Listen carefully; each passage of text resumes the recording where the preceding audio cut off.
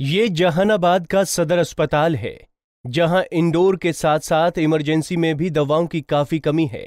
Emergency में मिलने वाली 33 दवाइयों में से मात्र 11 जीवन रक्षक दवाइयाँ यहाँ उपलब्ध हैं।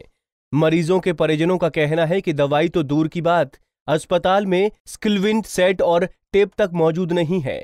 ऐसे में गरीबों का इलाज इस अस्पताल में भगवान भरोसे चलता है। सात तरह का इंजेक्शन है चार तरह का पानी है। अब वो तो भाई होना चाहिए तो सरकार के हिसाब से तो बहुत होना चाहिए। वो ये इमरजेंसी ना है। इमरजेंसी में तो तैतीस तरह का है कि जो दवा चाहिए। आपके पास सात।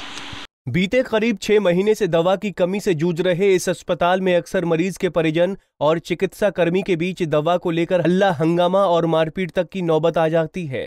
यही नहीं, ड्यूटी पर तैनात अस्पताल कर्मचारियों ने भी बताया है कि दवा न होने की वजह से उन्हें अक्सर लोगों के गुस्से का सामना करना पड़ता है।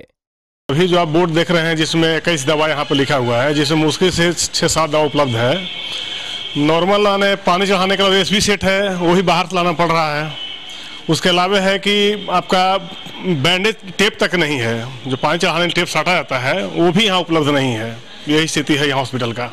हालाँकि अस्पताल के सर्जन का कहना है कि जल्द ही सभी दवाइयाँ उपलब्ध हो जाएँगी, लेकिन सबसे बड़ा सवाल यही है कि आखिर सुशासन बाबू के स्वास्थ्य के वो दावे जो बड़े बड़े करते हैं, उन पर अमली जामा कब पहनाया जाएगा? और सवाल यह भी है कि जब शहरी अस्पतालों में दवाई नहीं होंगी तो ग्रामीण अस्पतालों का तो हाल भगवान भरोसे ही समझिए। पंजाब केसरी टीवी के लिए जहानाबाद से मुकेश कुमार की रिपोर्ट।